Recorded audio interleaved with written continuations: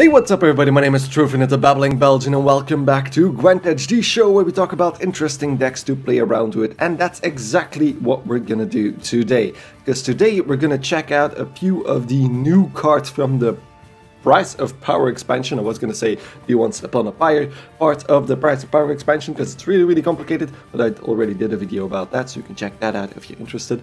But today we're going to take another look at Syndicate, more importantly the bounty archetype in our brand new Pirate Bounty deck. So the Pirate Bounty deck is the deck I currently use to go from pro uh, from rank 3 to pro rank and I did so with 19 wins, 4 losses and 1 draw. So very very powerful in today's uh, rather evolving meta so it could be very powerful and I think it's going to remain pretty powerful throughout.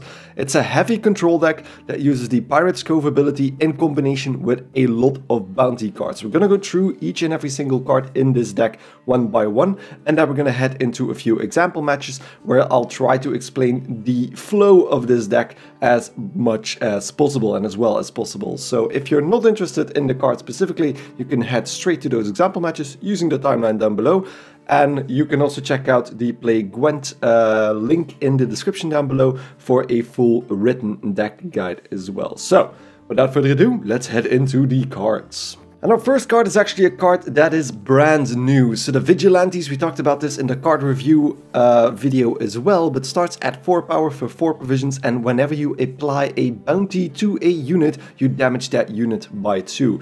This also works if you reapply it. So I've used this a few times over the course of my matches uh, and that I didn't have a proper damage dealer, but I did have another bounty applying card, which also allows you to bounty another a unit that was already bountied and then just hit it again for two random damage. Well, not random, two uh, targeted damage on that same unit killing it in that case. So just basically a very powerful engine card that synergizes very well with your bounty cards. And then of course to generate some coins we have the tax collector in here as well, twice of uh, two of them even, so 4 power, 4 provisions. And as long as he's on the range row he will gain, give you a coin uh, at the end of your turn.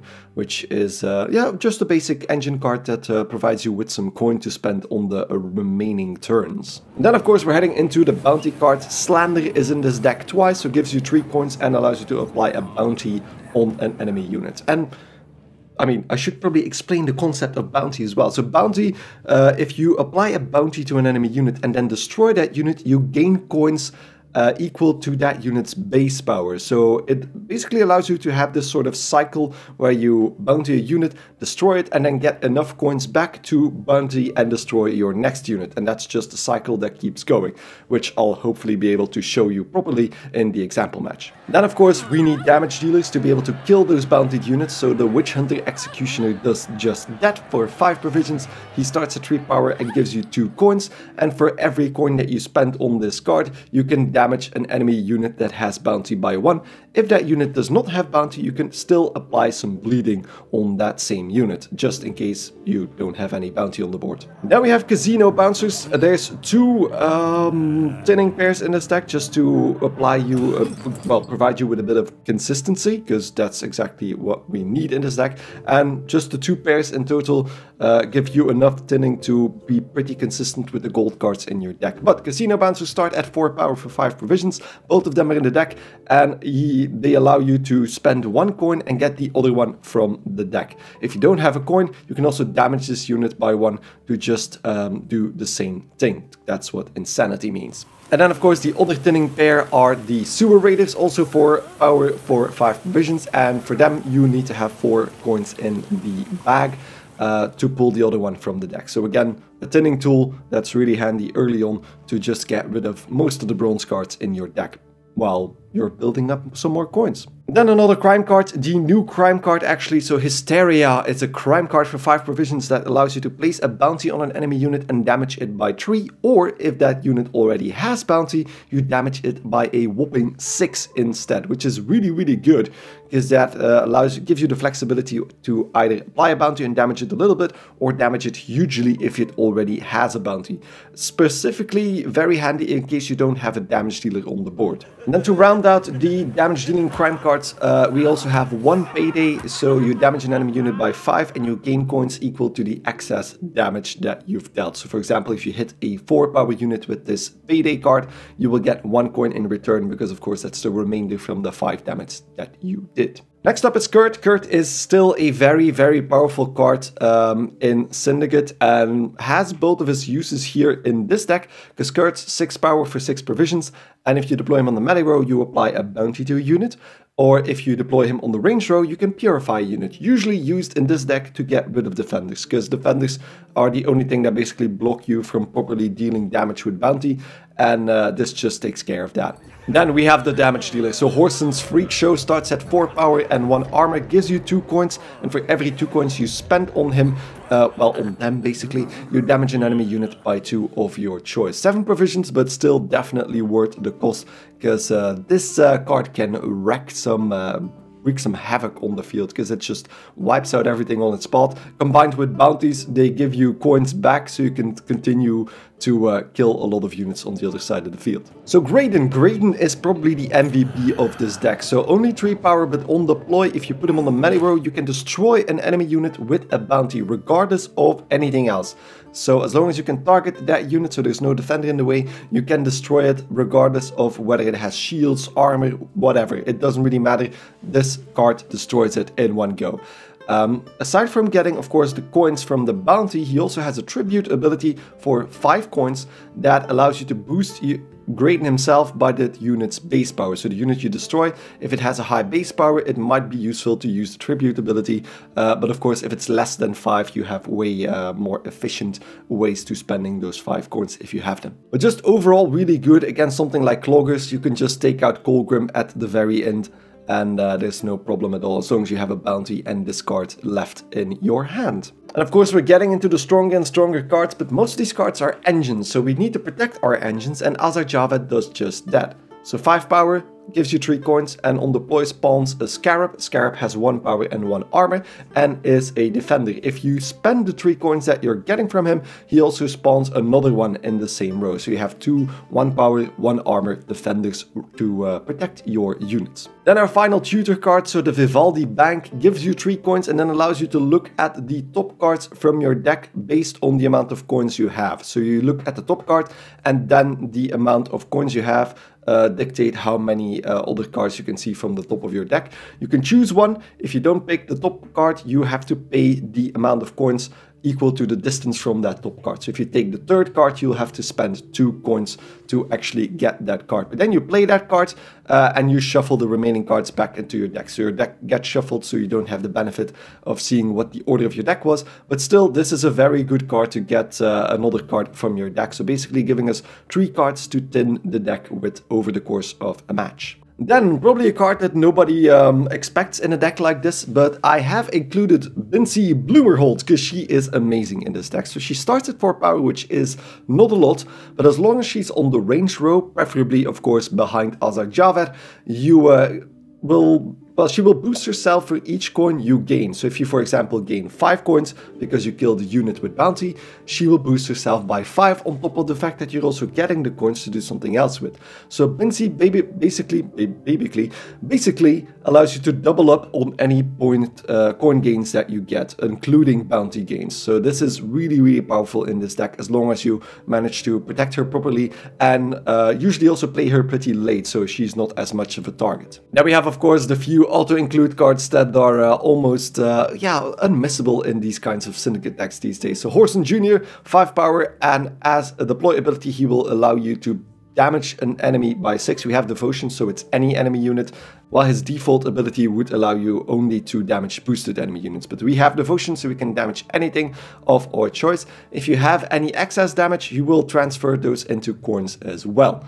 Um, he also has a fee ability for 3 coins. He allows you to destroy an enemy unit with 3 power or less. This is another destroy ability, so this is regardless of any status or armor. Um, you can just destroy any unit with 3 power or less, as long as you have 3 coins, of course. Then we have Jacques. Um, well, we will be getting Jacques Grandmaster. Again, this is a devotion deck, so 6 power gives you 4 coins, has Veil, And on uh, deploy, you can choose whether to spend those four coins to gain two Flaming Rose Footmen. The Flaming Rose Footmen have three power and one armor each, so basically giving you a 50% uptake on your coin expenditure. He also has a fee ability that allows you to gain uh, a single point on Jacques for every coin that you spend. So just a one-on-one -on -one transfer of those coins. So just basically a very powerful card to include in this deck. And uh, yeah, also almost always an auto include, uh, just because the fact that he also gives you a spender, it's just a, a really valuable card, giving you as a base 12 for 12, but as, uh, on top of that a spender. Then the final auto include card, of course, the Professor 6 power. He has been nerfed with a single provision uh, point, so we need to have 12 provisions to include this card now, but still has the same ability. So on deploy, you put a bounty on an enemy unit and damage it by 4. If you have vigilantes on the board, you will auto, well, automatically kill a 6 power unit with this. Uh, and if you have the coins, you could also ignore armor, but usually that's not going to be necessary. But still, this gives you 14 points as a base and could be even more depending on your previous setup. And then the final card in this deck is the Witchfinder, the new legendary card for Syndicate. Starts at 7 power and gives you 3 Syndicate Crowns, which are artifacts that can provide you with a single coin whenever you'd like. At the end of her turn, aside from of course the 7 points and the 3 coins that she already gives you, she has a passive ability where she will apply a bounty to the highest power unit in case there is no bounty on the field just yet. Um, so this is basically an auto bounty uh, engine, which is really, really handy just in case you want to always have a target for your damage dealers, especially in the final round just having this card on the board allows you to always have a target once it's your turn and then you can just focus on spending those coins and killing those units. If you're lacking in coins, you still have those three extra coins because of course these don't take space in your bag. So you could have a full bag of 9 coins and then spend 3 more up to 12 is that. So uh, really, really powerful card and you'll see her in action really, really soon. Our stratagem for this deck is the Crystal Skull. So boost an enemy by uh, an allied unit by 4 and give it Veil. Basically protecting either the Executioner or the Vigilantes depending on your card draw. And then of course the leader ability is Pirate's Cove which always gives us a spender which is basically why I chose this leader ability. It's really really handy to not have to worry about spenders because the Sea Jackals will always give you a way to spend your coins, usually also very efficiently. Um, so Pirate's Cove just gives you two of those. Um, one for the first round and then of course one for the final round. So this is uh, yeah one of the more powerful abilities in Syndicate to my mind. So with that, again, the list is also on the Play Gwent website and the link is in the description down below. You can check it out right there. But uh, before you do that, you might want to enjoy some example matches. So let's do just that. So, our first opponent is going to be Precision Strike Scoia'tael. I'm actually curious what that is going to be, because I haven't seen a lot of Precision Strike just yet. Uh, and we're still, uh, we're, we're, definitely going with the bounties here. Uh, so, mulligan-wise, Sewer Raiders needs to be gone. We get the Casino Bouncers, which is really good. Other than that, there's a single risk that we get the other Casino Bouncer, but let's try... Okay, we don't get him. That's really good. So we have enough tools to get our full thinning here. So both with the Casino Bouncers and the Sewer Raiders, so that's 7 and 8 points respectively. We get the Pyrotechnician. The Pyrotechnician is always annoying, because he's gonna try and kill our tax collector, and that's something we really don't want. So let's put Hysteria onto the Pyrotechnician. So once they use that ability now, we're gonna get 3 coins. So we're gonna get the benefit from the ability if our opponent doesn't really want to uh, well, if our opponent wants to kill something on our side. Um, we're gonna use the, the Casino Bouncer's Insanity ability here, so let's just do this. Giving us the thinning without actually needing to spend any coins, which is always very, very handy. And we get on Neuromancy, that's really quickly. On to Novigradian Justice. They probably want to win that first round, because decks like these usually tend to have um, Gord at the end. Hand boosting, interesting. Because they already played the Mahakam Volunteers themselves. That is something you don't often see. Um, now, I'm gonna put the tax collector down now. At least we get a single coin from that. And that single coin is enough to kill the pyrotechnician. What is this? You're really gonna pass at that point. Okay, so then that means that we can just uh, kill the pyrotechnician here. Um, and then I'm just going to use the Sewer Raiders as a carry over here, so the, the thinning tool. And that is enough. So that's 21, 22. Uh, we got our thinning out, we got our... Yeah, our everything. I could just put the Vigilantes down as well, just to get rid of more uh, bronze cards. There we go. And now we can just pass next round and have a, a good hand afterwards. Because that's what the thinning tools are for. You're just basically clearing out most of the annoying bronzes out of your deck, getting some points in return, and then that means that we can pull mostly golds out of our deck from that, that point onwards. Um, I have enough bounties for now, so wanna... Ooh, Hysteria is also good. Let's get rid of the tax collector and we get Azar Javed. So there's still a lot of gold cards in our deck, which we will be getting in the next round. Now our opponent is going, of course, with the hand boosting. So that's one boost in hand.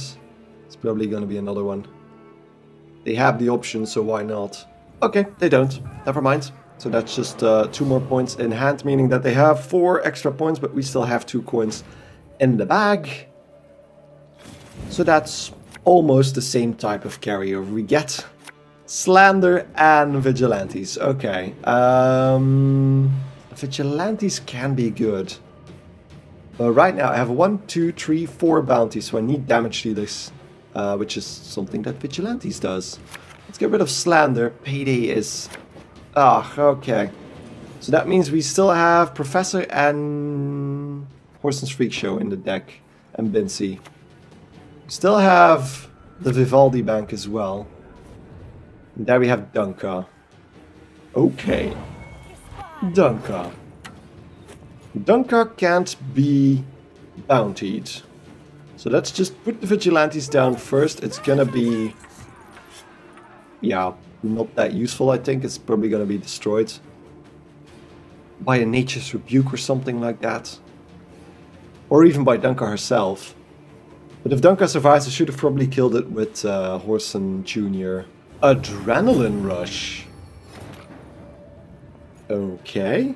Um, but of course I know this is a bounty deck. So if I can purify this... That's going to be a lot, isn't it? Yeah, let's purify it. Let's purify it and then we'll play the Witchfinder. Uh, we still have a lot of bounties left. We have one in Hysteria we have one in the Witchfinder. So at least one in the Witchfinder. The Witchfinder will probably die after the first uh, tick, but still. Then we get Fauve. Fauve is also boosted, so that's one of the uh, carryover thingies. And that's gonna go on to not on the Vigilantes. Okay, which means that I can just put the Witchfinder down now. And that's gonna automatically bounty Dunca. And also gets hit by 2 damage because of the vig Vigilantes on the board. So this could be purified. They definitely have purify options. But as long as the Witchfinder is on the board, purifying is useless. And we get Forest Protector, that's gonna be... They didn't play... Yeah, we're definitely gonna get hit with a Precision Strike now. No, we don't. Um, well then, that's an easy choice then. Uh, I just need to play Graden onto Dunca now. So that's 11 points gone. And for now that is okay. I, if she survives again, the Witchfinder, I don't think she will. But if she survives again, we can still uh, protect her there. Oh wow. And they keep her alive. But, okay, but I'm gonna I'm gonna bounty Ciri after this, because now the Executioner is gonna hit... Wait a second, I'm gonna go to 5, but I get 5 from the... Yeah, I'm gonna put one of the Sea Jackals down, because I'm gonna get a coin in excess. I'm gonna grab one of the Syndicate Crowns, and then put one in the Sea Jackal. And I can bleed Ciri, and then hit the Forest Protector. There we go. That gives us... Oh, the Forest Protector was... Oh yeah, I lose another coin. Yeah, okay. Uh, that's fine. That's fine. And we can add another bounty on the Ciri card there. Yeah, they're gonna try to Nature's Rebuke. What? What are you doing? Are they trying to set up... Oh, are they trying to set up a, a Schirrú? Well, that is that is just hilarious, isn't it? I should have spent the coins first. Yeah, let's uh, pay tribute for that. Uh, kind of wasted a few coins there, but we're gonna get five back regardless, so back to full. Uh, I could still bump up the Sea Jackal twice again, so that's back to eight. Because I really don't know why they try to... Oh, I should have bled the uh, the fourth there. She would have died immediately. We get another Nature's Rebuke on those guys, but you have Precision Strike. I don't think this is going to end well for our opponent. There we go. So now we don't have a bounty target anymore, but we might as well just kill Fauve. Um, next up is going to be Jacques. Yeah, I almost can't believe myself, but next up is going to be Jacques. So let's spend another Syndicate Crown, put the second Sea Jackal on the front row, and then tap that once again. Um, Jacques gives us 4 coins, so there we go. Jacques, Tribute, both of the Flame Rose Footmen down, and we get a bunch of tree powered units. And that's it for now. Yeah, I think we're gonna win this one. There we go, they, finally decided to kill the... Uh, so that's Isengrim's Council. It's gonna be Schirrú. Schirrú onto 4, but that's just gonna take away the Witchfinder and the Vigilantes. I'm presuming. Or you can take down Jacques once more. Ah, Jacques is gonna get hit as well. Okay. Fair enough, but that's not gonna... Yeah. Okay. Good. For you. Um, yeah, there we go. We got uh, the boss. Could have continued on, but that was pretty clear cut. Okay, here we go. Second match, Imprisonment Nilfgaard. This could be possible, but there's a lot of people playing this deck right now because it's one of the most powerful decks in the meta at the moment. Our hand actually doesn't look that bad. I'm gonna get rid of the start here, so might as well get rid of... Hmm... Bincy? That's another Hysteria card, so that's one, two, three, four bounties. Five, maybe. So we could go really, really aggressively here. I think that might be a good showcase. So let's start off with that and try this out. So, first up, normally we do tax collector, but we don't have a tax collector. So we'll start with vigilantes and put the crystal skull on that. Because from now on, vigilantes will just apply two more damage on everything we put a bounty on. So, yeah, that might hurt the Nilfgaardian. And we get the Slave Hunter first, which means that that is going to be our first target. Because uh, Hysteria is just gonna wipe the floor with that. The goodbye. So thank you very much. So that gives us 4 coins, which is gonna be plenty to move forward to in this uh, this first run. And I think our opponent already knows that this is not gonna work really well for them. Because of course Nilfgaard's only tricks right now are locking and uh, yeah, locking isn't gonna do much in this case. Um, we could apply another bounty here. Or we could just go for the the casino bouncers. But let's let's just no. There might be a case that our opponent is just gonna pass after this, so let's just put the casino bouncers down first to get the thinning out of the way. Because I'm assuming our opponent is gonna pass after the third card. Because starting with a Crystal Skull, unlike a Vigilantes or even the Executioner as well, is so strong that more often than not the first round is just forfeited by your opponent. Um, because it just gives you such a strong base, such a powerful control base that your uh, opponent needs to bypass and if they don't have an answer to this then they most likely will pass and just move into the next round.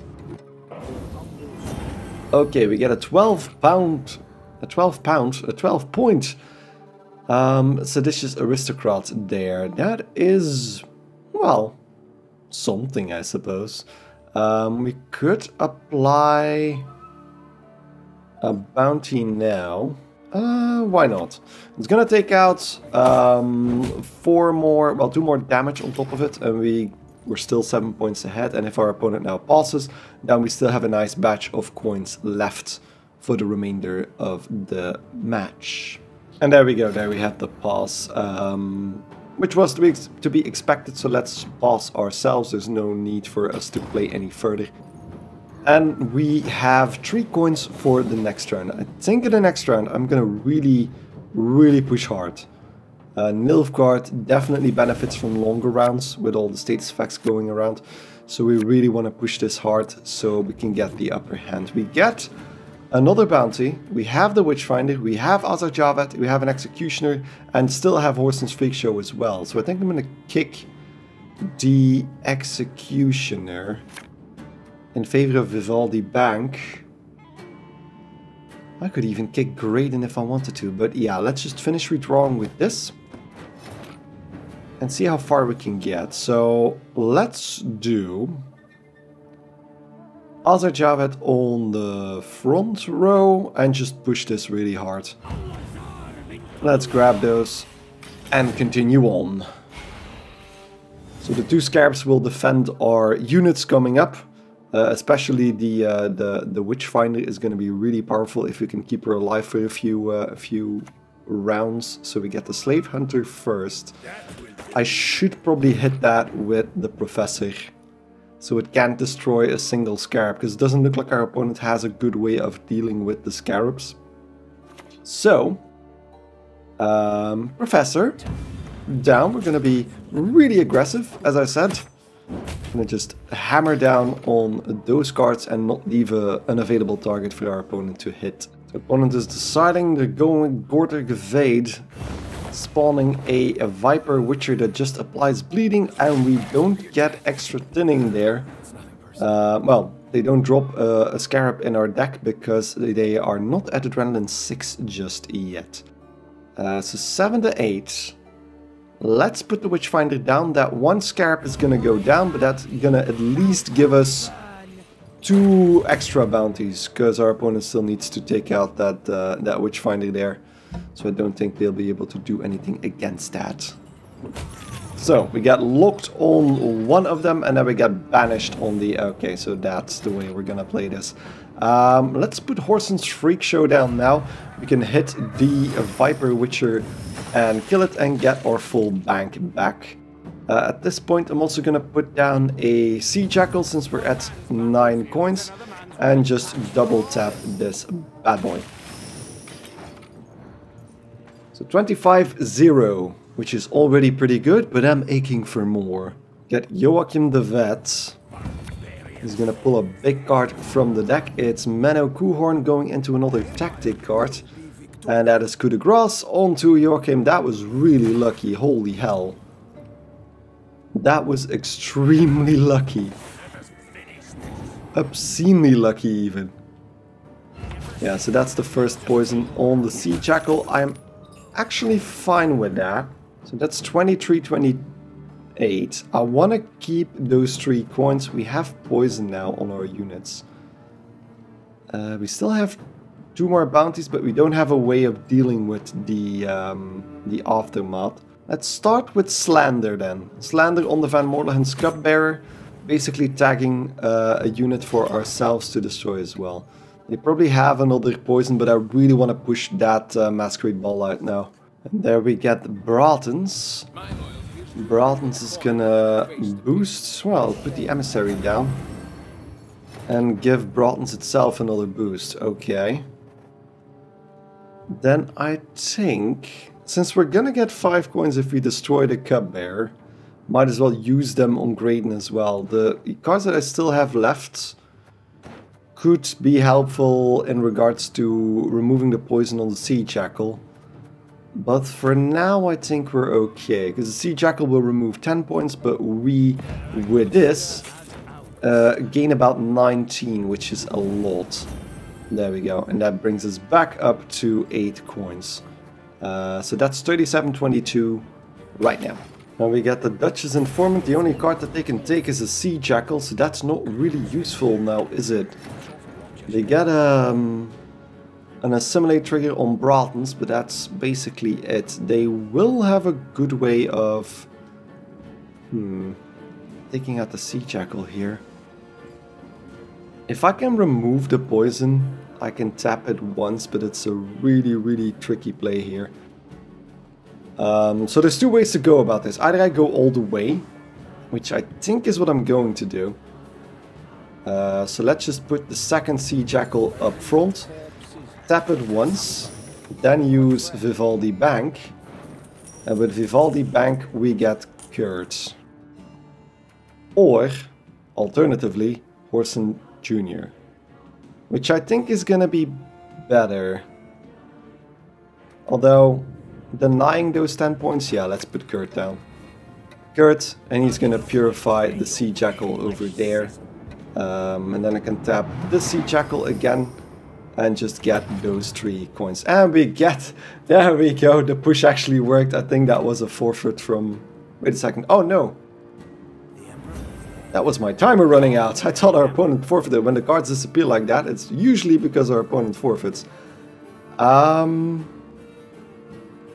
so I don't have a good target for Hysteria, so the only other option is just to go with it completely. So Syndicate Crown, Sea Jackal over here, Jacques in the back, and just trigger his Tribute ability. Um, and then I'm going to grab the last Syndicate Crown, giving us 3 coins at the very end, if possible. Okay, there we go. And uh, was preemptively celebrating there. So now one of our rows is also completely filled, so if the Usurper is coming up, then they will not have a space for one of those upgrade thingies. And that's an emissary boosting. Yeah, okay. So I don't have a use for that final Hysteria card. It's only 3 points. I could also use that momentum to put a few more coins on my other units. Which is probably the best way to go. There's only two more cards. I'm 27 points ahead. It's gonna be 36 points ahead after this, so I would be really surprised if our opponent can just circumvent all of that in one go. So, let's play Hysteria, um, doesn't really matter where. It doesn't do anything anymore. Um, and then tap the Sea Jackal once, and then quadruple tap Shark. 36 points ahead. And Usurper is less effective now. So we get that. We get Cantarella, giving them 3 coins and 4 options to pull cards from. That's also gonna count as an assimilate trigger, because that's a card that's not in their starting deck. That gave us another point. Same with Roderick, Roderick is also gonna give us two more points. So for now it's good. And we got Wilhelm. Why? Okay, that completely blocked. Oh, and that's gonna create a... A Viper Mentor? No, a Hunting Pack. Okay, so that's nine more points. And then Usurper is completely useless. Okay, there we go. The push actually worked rather well, which is nice. Actually got the remaining coins on the uh, Sea Jackal there, but uh, there we go. That's uh, hopefully enough to show you how powerful this deck can be. So, there's a few things that you can do with this deck if there are cards that you are not interested in. So, for example, you could remove Bincy um, as a 10 provision card because it might not be to your liking. And then, for example, swap it out together with the Payday for something like, I should be looking for it here, uh, Hammond at the first place because he's a pirate. He, he, can also move another unit, which is going to be come in handy if you're facing uh, Kaltulla's deck. Uh, and then for the 7 provision uh, cost card, then I would go with Tavern Brawl, since you have another high value targeted with uh, this crime card. Uh, Bincy is just a, a bit of flavor that I'd like to add to this deck. Um, there's also other 8 uh, provision cards you could use. If you want to go full bounty, of course, you also have uh, Caleb Menge. Where is he? There he is. So Caleb Menge allows you to place a bounty on an enemy unit for uh, 3 coins every single turn, as long as you have the coins for it. So could enable you to continue placing bounties, but I think we have enough bounties in the deck as is. Um, and yeah, there's just a, a, bunch of other cards you can play with, because you could even just straight up replace Bincy with the classic Philippa Eilhart to just have a way of transforming your coins into a seized unit, which is always uh, very, very nice. But with that said, it's gonna be the end of this video. Hope you enjoyed this little deck guide on the Pirates Bounty deck, and I promise the next deck guide is definitely going to be the Spellfire deck. So, uh, keep your eyes out for that one. It's going to definitely be the deck guide for next week. So, uh, with that said, thank you guys enormously for watching. Remember to check out the Play Gwent link in the description down below and upvote the deck there as well. And you can review the entire deck guide written out on that page as well. So thank you guys. enormously for watching, and I hope to see you in the next episode of Gwent Edge. Goodbye, and stay nutty.